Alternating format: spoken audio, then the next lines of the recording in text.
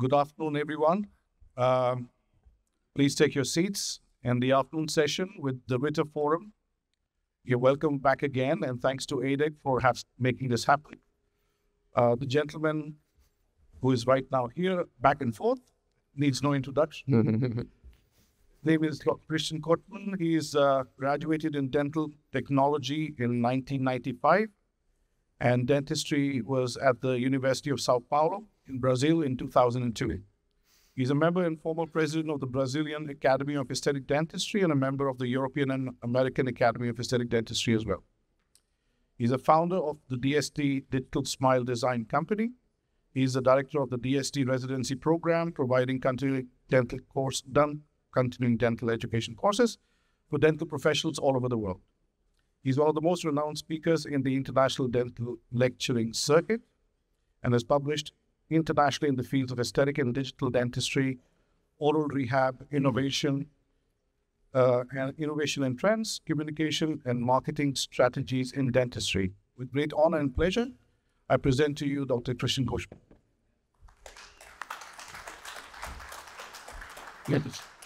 Thank you very much. Thank you, thank you.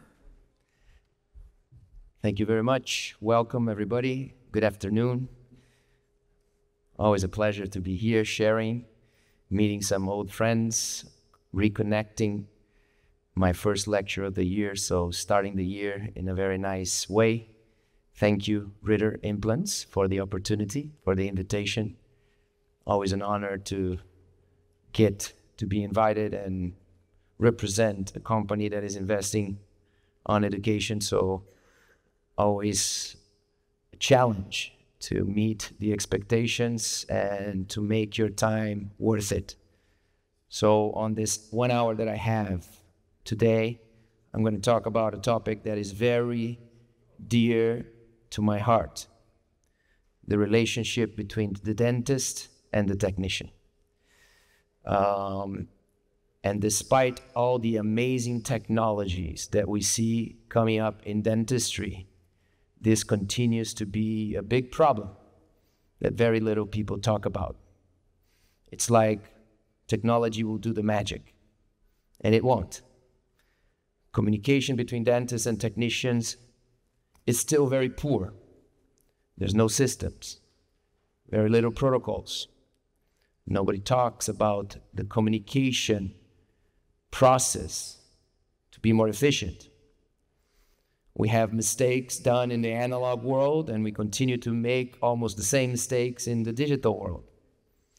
There's a lot of back and forth, repetition, redos, lack of consistency, outcomes that are not ideal, waste of time, waste of money, waste of materials. And I can say it from my own experience. As a dentist and as a technician, I learned from my own mistakes. 20 years on the bench working as a technician, but also doing the clinical work. I had a problem.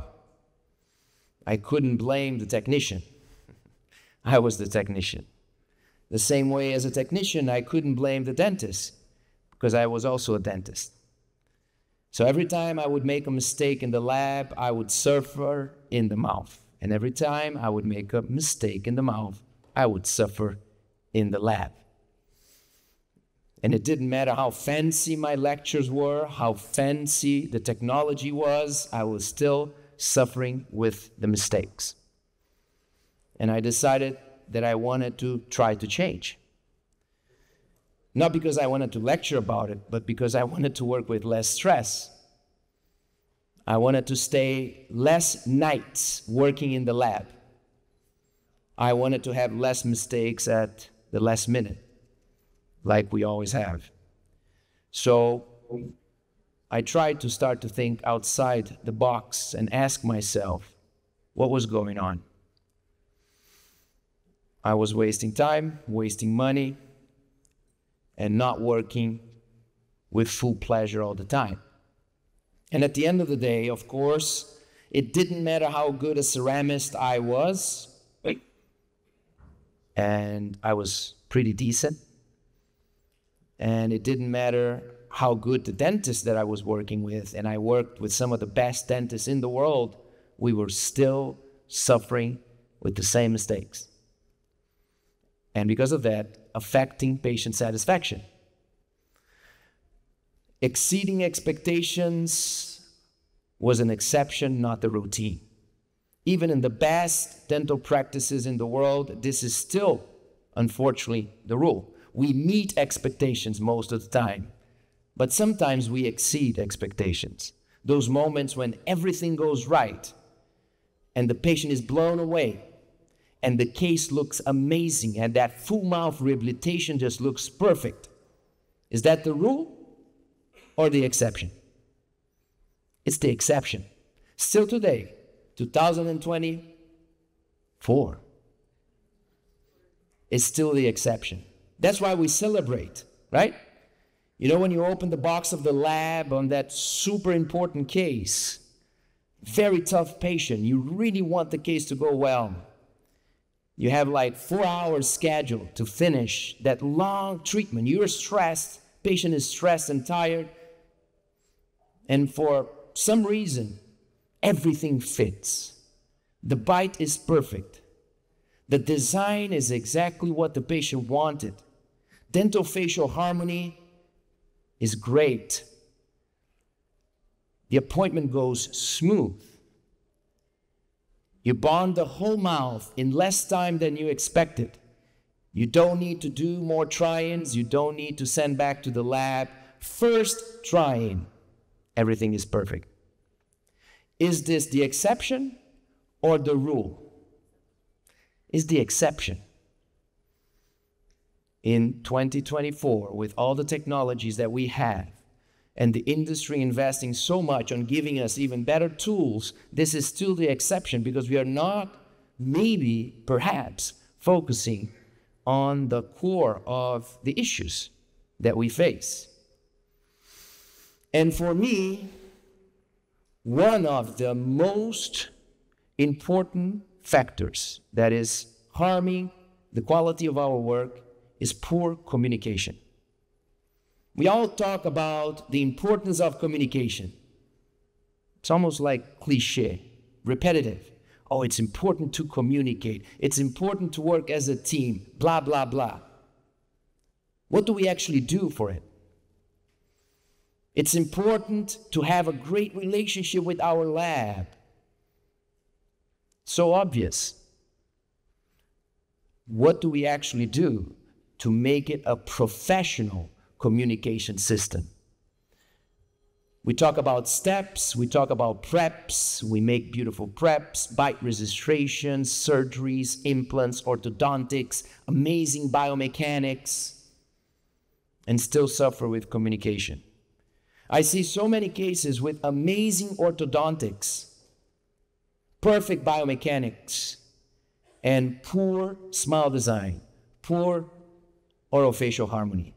Amazing surgeries, amazing implants, 200 slides of perfect surgical procedures, and at the end, poor smile design, poor facial harmony.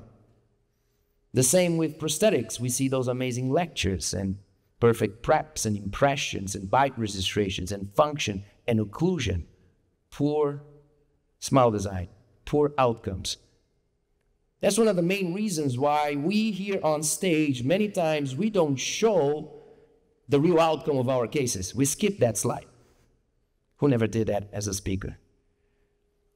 Many times we don't show the picture of the patient's face smiling with the final outcome of our own work. Who never did that as a speaker? 200 slides of the surgery, very proud of it. Feeling very cool on stage. But the final facial integration, oh, better not to show that slide. Oh, the patient has a low lip line, he's fine.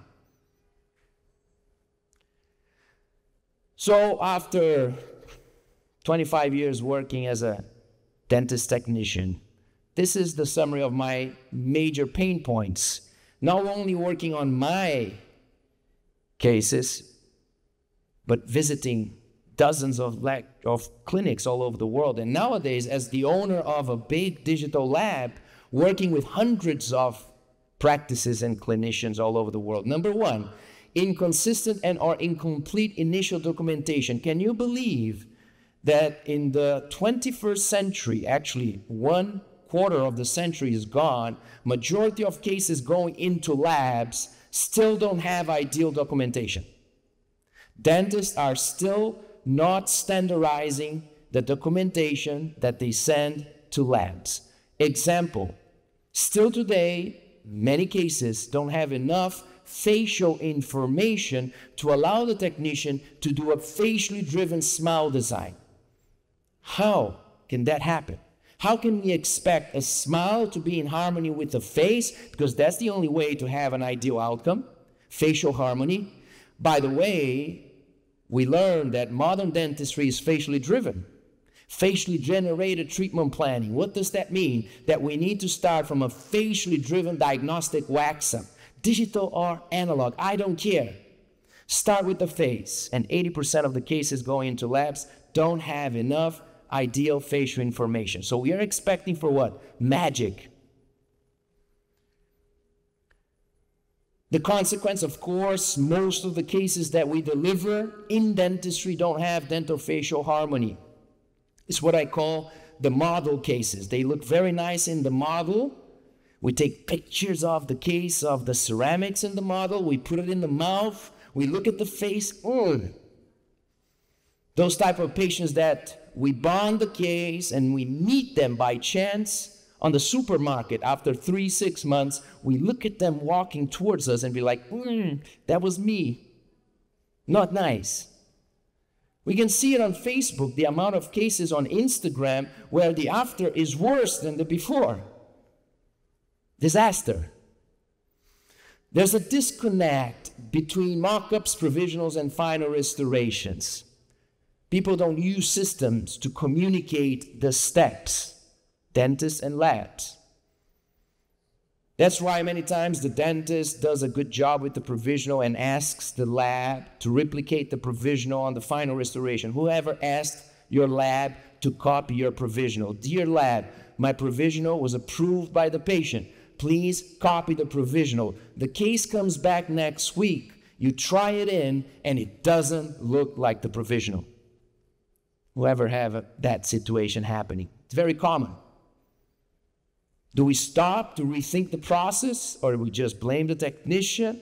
What do we do to change this reality? Because still today, that happens every other week with dentists from all over the world. No connection between the stages of the project. Of course, waste of time, too much intraoral adjustments. Imagine that we could sum the amount of hours that you waste of your precious time every year adjusting things in the patient's mouth. I guess that is probably like three months of paid vacation for you, wasted in the trash, adjusting things in the mouth. Because the case came back, it was too long or too short, too wide, too narrow. Emergence profile was not ideal. Pontic design was not ideal. Emergence profile was not ideal. Contact points were not ideal. Bite was not ideal. Soft tissue conditioning was not ideal. So many aesthetic parameters that we are adjusting in the mouth. We dentists, we transform the patient's mouth into our laboratory. We try in things and we adjust things in the mouth that makes no sense. The question is, what can we do outside the mouth to save time in the mouth? Does it make sense to waste 30 minutes adjusting an incisal edge in the mouth because it's too long? Or is there something else that we can do to detect the ideal incisal edge beforehand and get our cases with the perfect incisal edge every time? We don't talk about it. Unnatural outcomes. This is the rule. We see it on Instagram as well. Smile rehabilitations look fake. That's the rule, not the exception. How do we reconnect with nature? How do we create rehabilitations that actually look natural? How do we communicate better, dentists and technicians, to design natural looking smiles? the amount of back and forth. On big cases, we never say that the final try-in appointment is the final appointment. That's why we call it try-in, and we tell the patient. Because usually when we try in a big case, we know that it's probably going to go back to the lab to do something, to come back, and sometimes it's back and forth three times, four times. Is that smart? Can we do something about it? What are the systems that we have in place to reduce the back and forth? Very hard to see systems to express the improvements. When you try a big case and you see things that you want to improve, what is the system that you use to communicate to your lab the improvements, the changes, the modifications? Do you use a system? Or you just call your lab and you try to explain it on the phone, or you write on the slip? It makes no sense to communicate dentistry with words on the phone or on a paper. On the 21st century, makes no sense. So, is smile design under control? The answer is no. Surgeries are much more under control. Ortho, preps, bite registrations are much more under control than the simple starting point of modern dentistry, where the teeth belong in the face, and how to communicate that to the lab, and how to get that back exactly the way we need. That's what we need to focus on. Clinical procedures are much more under control than the actual process of delivering natural smiles. So, look what we did. Say, let's professionalize this. Let's learn from project managers. You know, big companies, we complain as dentists and technicians that we need to handle five employees, 10 employees, maybe. That is a mess, the back and forth, etc. How can we complain if there are people out there running companies with 20,000 people? doing things that are much more complex and delivering consistency. We need to be open. We need to learn beyond dentistry. Project management, creating systems. We didn't learn that in dental school. How to create a system to work less and make more money. How to create a system to minimize problems. So look at this a simple smile rehabilitation case. I sat down and I wrote down all the major steps to change the patient's smiles. And it comes down to us into 18 steps. There's 18 steps to change somebody's mouth. 18 moments that can go wrong. 18 moments that we can miss the communication. 18 moments where we have no systems to make it standardized. Some of the moments are done by the dentist, some of the moments are done by the technician, of course. So let's go quickly just to see our thinking process. Moment number one data collection, pretty obvious, right? Your first appointment, everything that you need to do to standardize the information with quality and efficiency. Number two, how do you transfer this information without wasting time so your lab can develop a facially driven diagnostic design or WAXUP, whatever name you want to give? The starting point of modern dentistry. That's step number two. Step number three, after you take care of the dental facial aesthetics, how do you move into function? To analyze, to diagnose, to treatment plan based on the diagnostic WAXUP still in the lab. Then, based on this diagnostic WAXUP, step number four, build your treatment plan. Facially driven, smile design driven, modern, comprehensive, interdisciplinary treatment planning. Number five, how do you translate this beautiful plan into a presentation for the patient? And number six, how do you onboard the patient? Case acceptance, education, motivation, selling the treatment. So now case acceptance happens, so the treatment starts. Next step, what we call complementary preparatory procedures. If the case needs some crown lengthening or some grafting or some implants or some ortho, everything is there. Step number seven, guided by the waxer. Step number eight, very, very important. After you did the ortho or the perio or the implants or changing the vertical or whatever you had to do before restorative, once this is done and healed, this documentation needs to be repeated. This is a moment we need to redo full documentation. Post ortho, for example. Back to the lab. Why? Because now the lab needs to adapt the diagnostic wax up after all the procedures before restorative. So it's the adapted wax up. Number nine, the lab needs to guide the dentist with the preps. Dentists don't do the preps to the lab. The lab needs to guide the dentist on the prep. Number 10, with that information coming from your lab, only then you prep the teeth. Prep by design. Not more than necessary, not less than necessary, just exactly.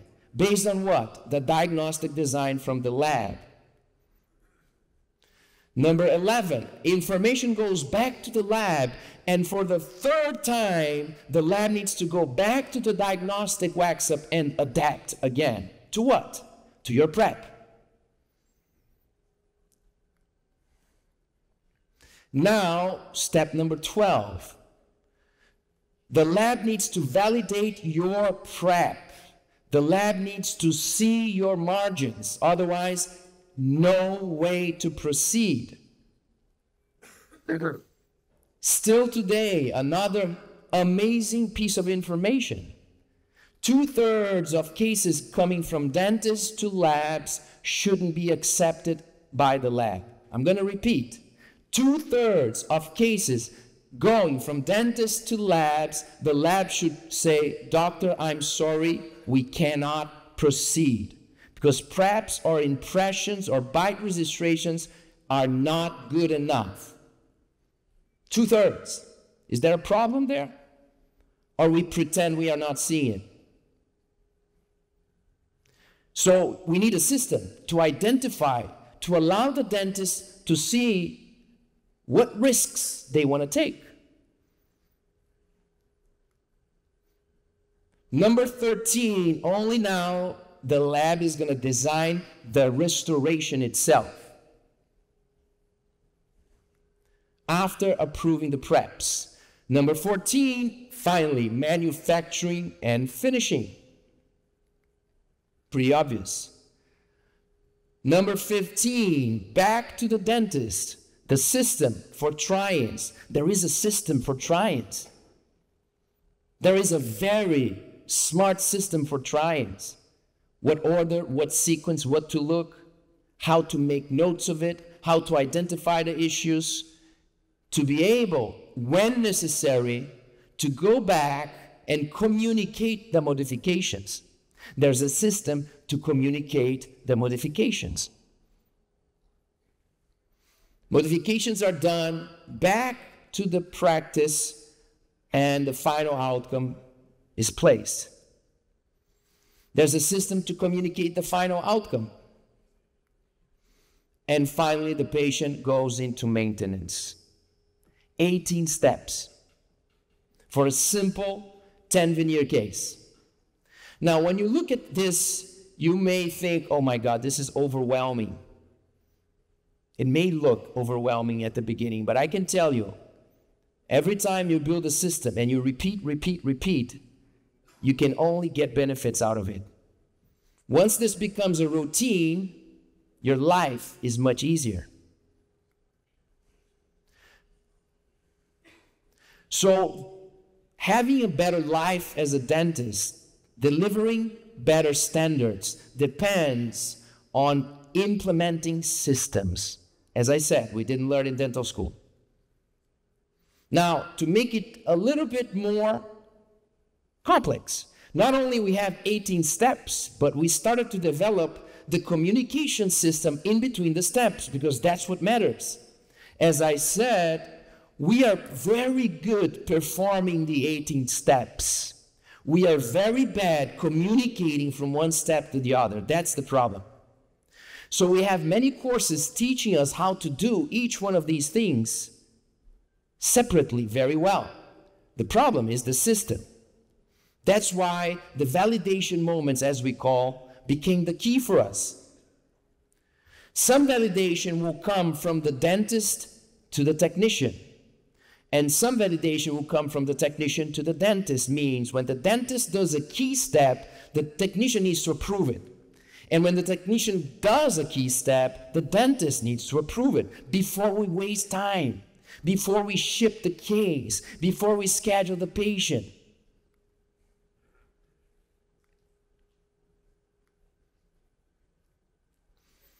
The validation moment for me is the key to implement a quality system in a dental practice, not only for restorative cases. Validation means even if you work alone, you need to validate with yourself. You need to validate internally. It's like a quality control. If you talk to an engineer, they will tell you. If you talk to a smart business person, they will tell you. So the validation consists of identifying the key moments of your work where you are maybe making mistakes that are harming your work. You identify these moments and you tell yourself, first, when I perform this procedure, I need to create a system to document what I just did. Every time, every day, for every patient. Then I need to develop a system to communicate what I just did. Pretend you have a supervisor, pretend you have a boss, pretend you have a quality controller, even if the quality controller is yourself. You need to look over your work following the same system. So, if you're doing a prep and you want another dentist to look at your prep, what is the minimum information you need to share so they can give the feedback without wasting time. That's the thinking process. Are you going to take like 200 pictures and put it on a Dropbox folder and share with your friend? They're not going to see it. Too much. It needs to be super fast and efficient, just enough. Then you need to create a system for the person to evaluate your procedure. And then you need to create a system for the person to communicate back approved, not approved, these are the improvements, this is what you need to do. For example, if you get a work from your lab, if you get an abutment from your lab and the abutment profile is too aggressive and is harming the gum, too much pressure, the lab needs to be able to document that first. Then the lab needs to generate some images to communicate, and you get on the phone the design before they even manufacture because you don't want to waste their time and their money and the materials. Then you're going to evaluate that and then you need to communicate back. This is not good. You need to change X, Y, Z. What do you do? You do some print screens, you do a little video, you take a photo, you draw with your fingers. What is the protocol? For you to communicate back to your lab every time the submergence profile of your abutment is not the way you want. Because if you call in the phone angry, they will not memorize, they will not learn, and they will repeat the problem.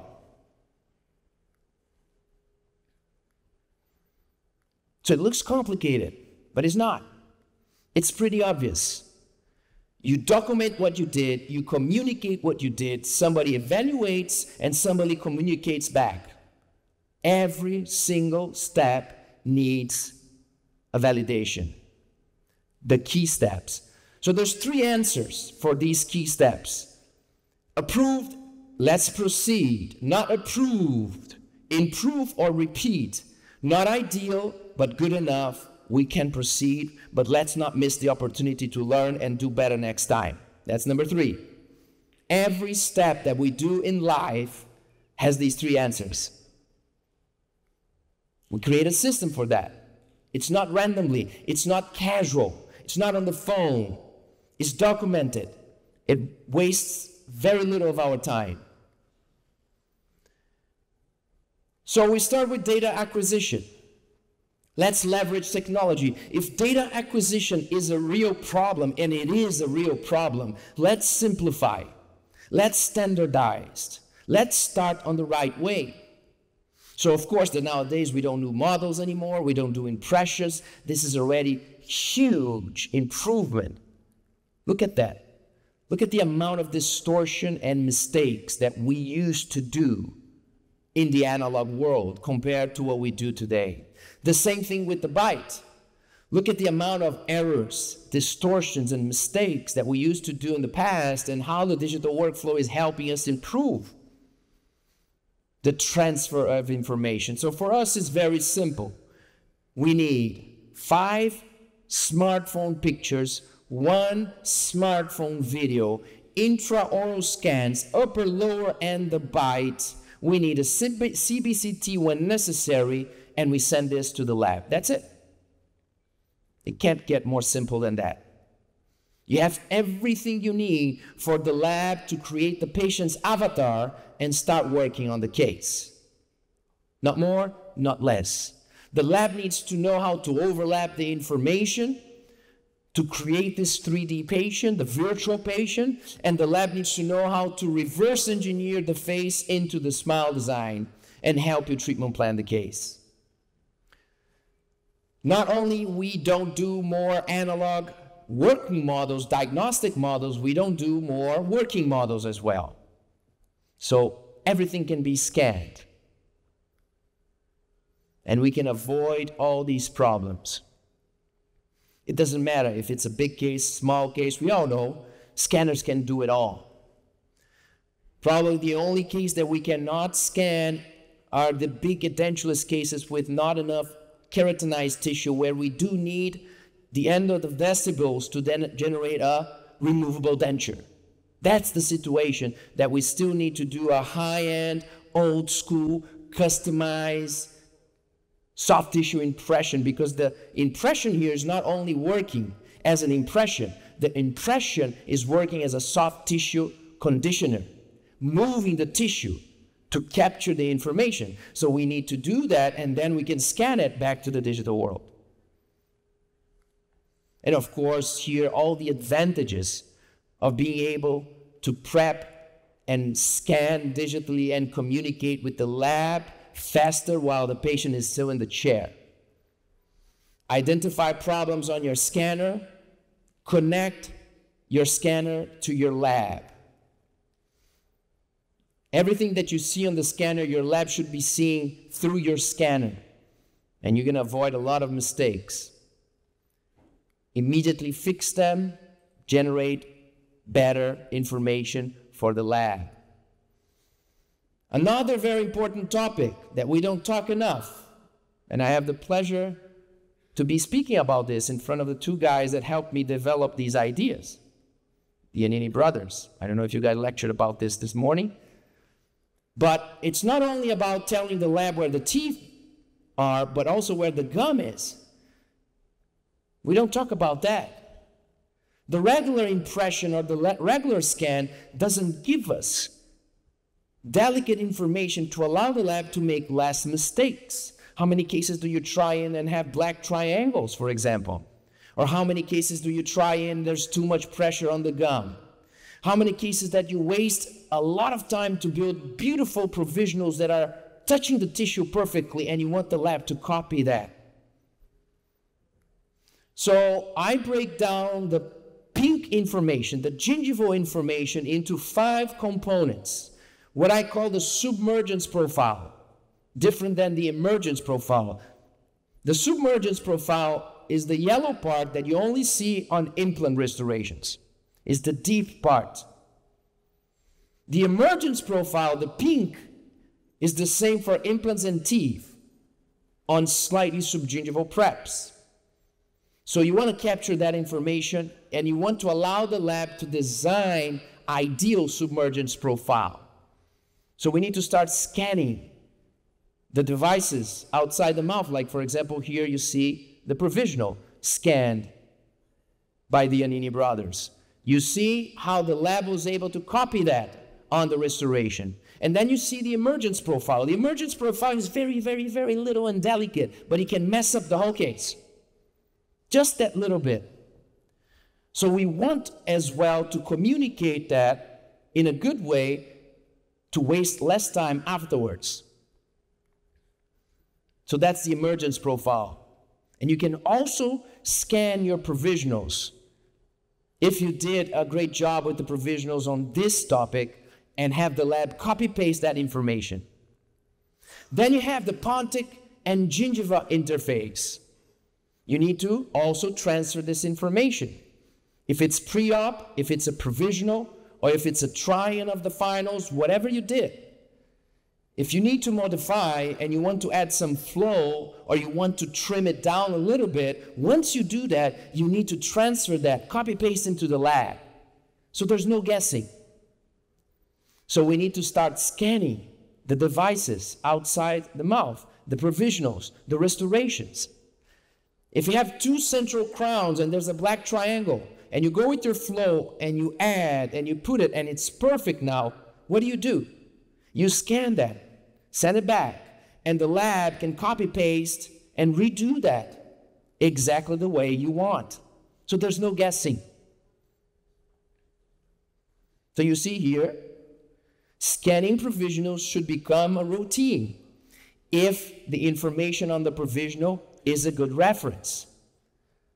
So you need to scan the provisional in the mouth because it gives a lot of information, but you need to scan the provisional outside the mouth as well. If the emergence, submergence, and pontic information is good on the provisional. So you see how the digital information can be copy paste into the final prosthesis. The interproximal, as I said, if you change it, if you improve it, you scan it. And the margins, deep margins, if you rely on your provisional and your provisional is very well fitting, you can scan that information as well to complement the scan of the preps. So this is all explained in an article that shows the different workflows for teeth and for implants and the pieces of the puzzle that we need to digitalize to send to our lab and give the lab the possibility of designing a restoration that you're going to have to adjust less in the mouth. That's the goal. And in the lab, we can overlap all these pieces of the puzzle and select the pieces that are better information and design the final restoration with the best of each piece. For me, one of the key concepts to transform communication is asynchronous communication. What is that? It means that when you look at this slide, you are overwhelmed and you should, and you think to yourself, if I have 20 new patients per month, how can I do this 20 times per month? Because every patient deserves this. So the main word is efficiency, and efficiency on communication means that we cannot communicate the way we are used to. Phone calls and Zoom calls and in person meetings, you cannot replicate 20, 30 times per month, several times per case. So, what is the solution? to improve quality of work through better communication in a way that you can do it for every patient. Because it's not only you and the lab, you need to bring your orthodontist, your periodontist, your surgeon, whoever is going to help you make better decisions. How can you make better decisions empowered by better communication for every single patient, every single time? And the answer is team asynchronous visual communication. It needs to be asynchronous and it needs to be visual. What is the meaning of asynchronous? It means that you can communicate as a team without having to be on the same place, neither available at the same time. Meaning, the problem is that even if you work under the same roof, in the same clinic, when you have five minutes free, the other person doesn't have the same five minutes free at the same time. That's the problem. So the communication needs to be asynchronously happening and visual because it makes no sense to communicate dentistry without images. No sense. How can you explain a ortho tooth movement through words? Is insane. Since we have software and we have images that we can just move the teeth, do two print screens, and give to the other person and say, This is what I want. Do I need words? So, visual communication is essential. So, we need to incorporate this as a routine. Synchronous communication doesn't help us. It's nice on the picture, it's not realistic. So, phone calls, Zoom calls, in person meetings will not solve the problem. So, we need to develop a system where we can communicate as a team and solve 90% of our problems asynchronously. So, how do you communicate with your lab? Synchronously or asynchronously? I can tell you 90% of the dentists are still communicating synchronously, explaining problems synchronously, finding solutions synchronously. This is not replicable. So, we need to digitalize our patients, we need to use cloud sharing systems and group chat platforms to be able to do asynchronous communication. And then we need to transform our phones into content generators, images. You need to transform your phone into the third eye of your technician. And your technician needs to transform their phone into your third eye. And this needs to become a system, a protocol, always the same. In every situation, we have specific images that need to be done to show to the other what is going on without wasting time. That's the magic. Look how our daily work looks. This is how we as a lab are able to communicate with 1,000 dentists from all over the world in a much better quality than when I used to work inside my dad's practice. There's no comparison. Asynchronous is the way, and you can start to master the process of doing print screens of computers, images of the procedures, and express yourself as if you were giving a mini lecture. Every time there is an issue, you need to pretend you're giving a lecture about it. You need to capture the images and write the notes in a way that the other person can fix it. So, your technician needs to master the process of doing print screens of everything that they are doing. And the only way for that to happen is that we standardize that. Otherwise, the lab will go crazy.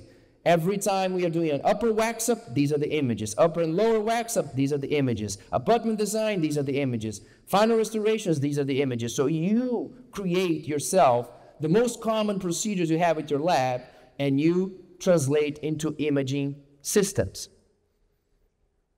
So the lab is going to do print screens and screen recordings. You're going to do print screens and screen recordings, and you're going to share that in a group chat with everybody that is important to make better decisions. And suddenly, decision making will become much better, much faster, much more efficient, and less mistakes in the mouth. And it's amazing. The solutions are already there. You can have all of this in your phone. You can see this on your phone if you have a lab that understands the concept of asynchronous visual communication. You need to master of draw, you need to master the process of drawing with your fingers. Expressing the issues with your periodontist, orthodontist, and your lab, anticipating the problems as a protocol. Not casually, not sometimes. Every time, always the same. So the phone becomes your biggest partner, your number one ally to improve decision making and waste less time. Softwares are already understanding, companies are learning this and starting to simplify the process to allow you to communicate visually and chat as a group to talk about your cases without wasting time. It's like combining, imagine you could combine Dropbox, WhatsApp, and Exocad. That's what is happening, and that's what we are doing. Everything is visual, everything is asynchronous, everything is team communication.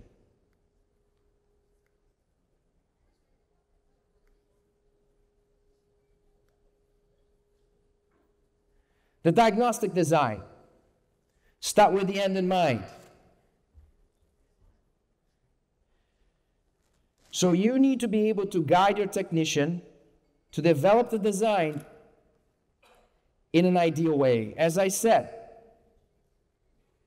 every case you do with your lab, there are five major moments that you need to communicate better. What we call the facially driven design, the functional design, the treatment planning simulations, the adaptive design after the preparatory procedures, and the final restoration itself. Look if you agree with me. So, this is the solution that I'm suggesting to you on everything that you need to do to diagnose, design, and plan with your lab better. This is the minimal information that they need to do and print screens that they need to share with you. So you can be in vacation on the other side of the world, look at these images in 10 seconds and say yes, no, repeat, redo, adjust. So when you get back from vacation, the case is there exactly the way you want. So when we ask a diagnostic design to our lab, these are the images that the lab needs to send back to you before they send you the case, before you approve the case. You need to approve these images on the phone. When you order a diagnostic functional design, upper and lower wax up, these are the images that you need to check the case. Not more, not less. After you approve the diagnostic design, when you're treatment planning the case, these are the images that the lab needs to share with you for you to finish the treatment planning. Define, are you going to do ortho, yes or no? Are you going to do implants, yes or no? How many? Where? Are you going to crown lengthen? Yes or no? Are you changing the vertical dimension? Yes or no? You need these images to help you make better decisions. And the final part, the restoration itself. This is very practical information and I think very good tips for dentist lab communication. As I said, always tell your lab Every case you receive from me, don't move forward before you send me this quick video on my phone and I approve the margins that you delimited for me. Until you can use a software where you, dentists, can put the margins before you send the case, you need this. This is mandatory. It makes no sense for a lab to design a restoration before you see this video. You cannot imagine the percentage of cases where the dentist is looking at this video and saying, no, the margin is not there, is there. So then you pause the video, what do you do? You zoom in, you do print screens. Who knows how to do a print screen on the phone? You do a print screen and you draw with your fingers where the margin should be and you solve the problem and you will never, ever, ever again have a restoration that is too short. Have you ever called your lab saying the restoration is short? I'm 100% sure yes. You solve the problem. You communicate, and the lab goes there and fix it before they design the restoration.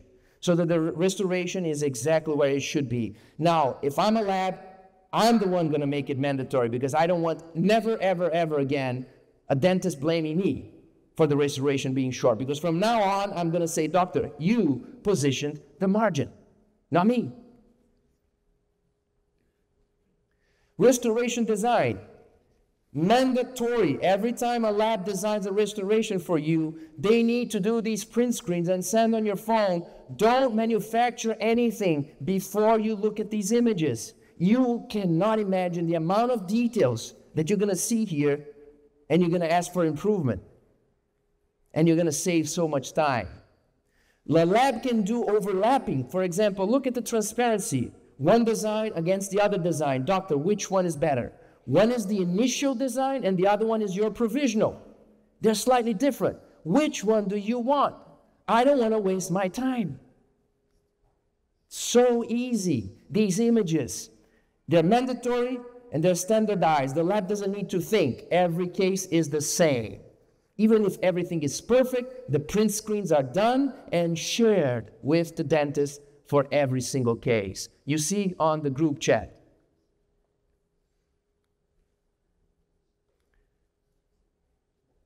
And you see, this is real world. This is how we communicate. Now, the lab also need to start quality controlling their own work through drawings. This is my supervised ceramist supervising the work of my other technicians. through drawings, print screen, drawing, print screen, drawing. Don't try to explain with words, explain with drawings. You don't waste your time. And that's what we do with the dentist. The dentist gets these drawings on the phone. Another very good trick tell your technician don't only give me print screens. After manufacturing, even if I already approved the design, I want to approve the manufacturing before you ship it. Never allow your lab to ship a case to you before they do a video of the case and allow you to approve the video. It takes one second and you're gonna save you so much time.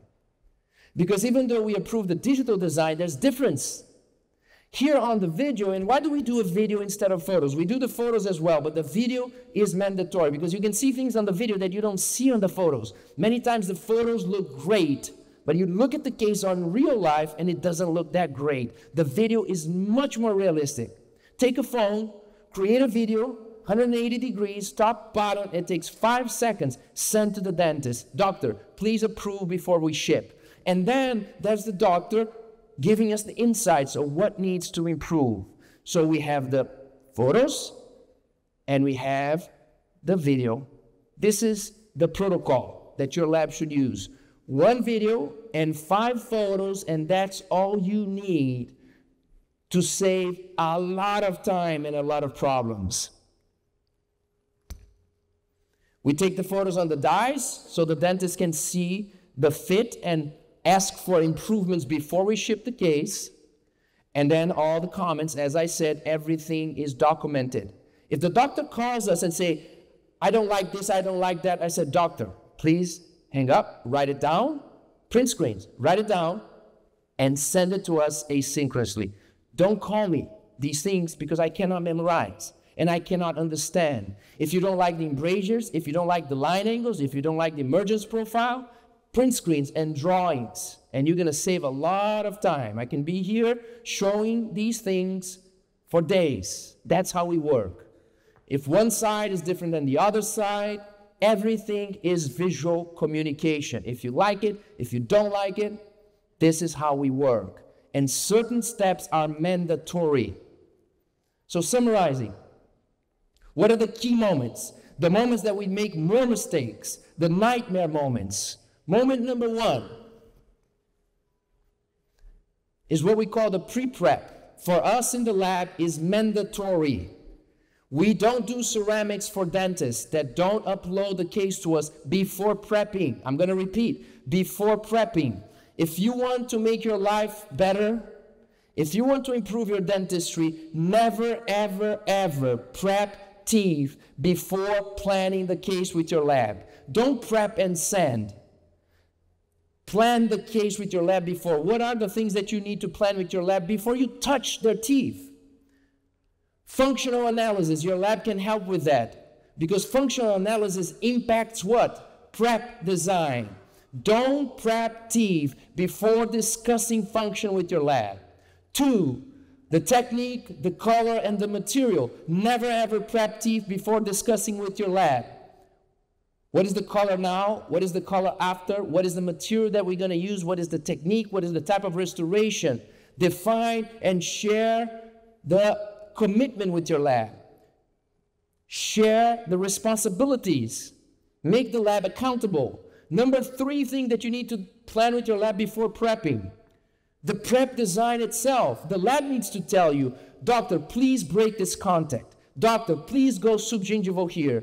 Doctor, please give me a little bit more clearance there. Doctor, please wrap around this one. Don't need to wrap around that one. Please include the bicuspids. No need to include the bicuspids. Don't miss the opportunity to learn from your lab.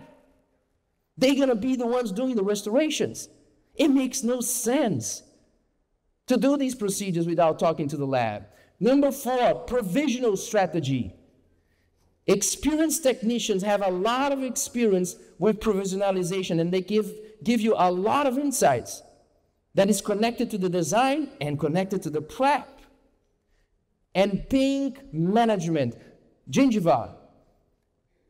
This interferes with the prep as well. If there's a soft tissue defect, if there is a concavity, if there is a pontic, if there is a recession, if there is a possible black triangle, all these pink aesthetic issues need to be analyzed before prepping because the prep may change because of it.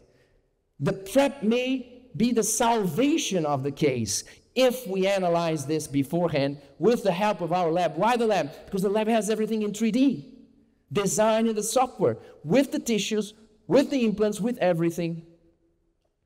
Then the second moment that you need to leverage your lab, guided prep, meaning whenever the plan is done, you need your lab to help you plan the preps and manufacture the guides so you can do guided preparation.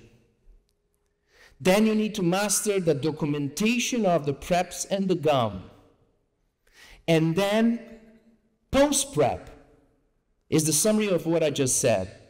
Number four, allow, empower your lab.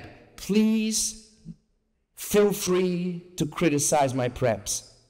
Who does that with your lab? Please say whatever, don't be afraid. Look at my preps on the computer and tell me everything. I'm not saying that I'm going to repeat everything. I'm saying I'm going to learn from everything.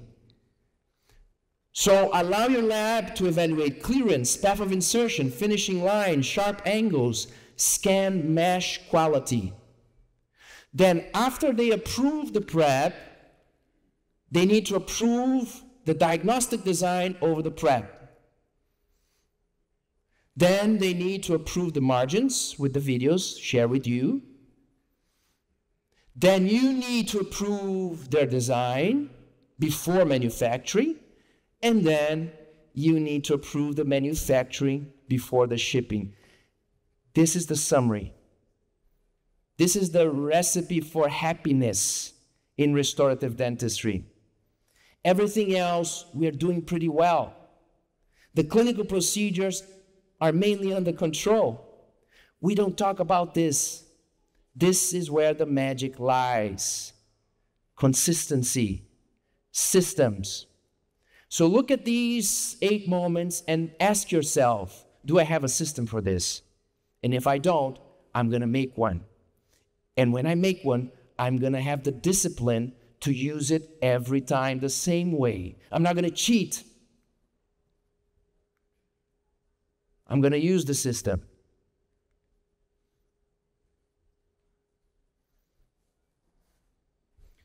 So, conclusions you need visual asynchronous communication. You need to identify the key moments and you need to transform them into mandatory communication systems. For that, you need to empower your phone. You need to empower your assistants and your lab to always use the phone to capture the problems, translate the problems. You need, of course, screens. The lab, you can only work with the lab that has a screen and technicians that are used to working visually guided technicians. And you need to have screens on every important place on your practice where you can make decisions based on images. Never make a dental decision without images. It makes no sense. It doesn't matter how good you think you are, it makes no sense. Conclusions. Today we have poor communication is a chronic problem in dentistry. Impacts quality, harms efficiency, generates frustration and stress. Nobody talks about it. Great communication doesn't happen by chance. It's not blah, blah, blah. It's not coming on stage and say, communication is important, and so what? You need a proactive attitude to implement systems. Great communication depends on actively implementing replicable. A great idea that you cannot use for every patient is not a great idea. Replicable. Efficient communication is strongly empowered by technology, visual and asynchronous communication. Depends on routine and discipline because we are used to the old way, so we tend to cheat our own system.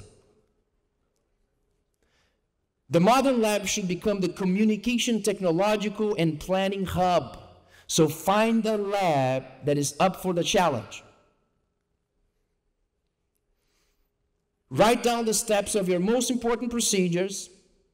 Define which steps are done by the clinical and which ones by the lab. Identify which steps are causing you more problems. Make the systems mandatory for at least these problematic steps. Create a standardized communication process. How? Define how ideally and visually communicate what you did or somebody else did. Define who will validate what was done. Define how to ideally and visually communicate the conclusions of the validation. And then be a leader.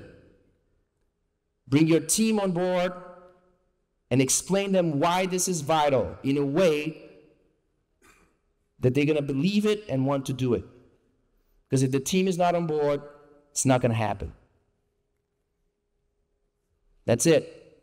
Thank you.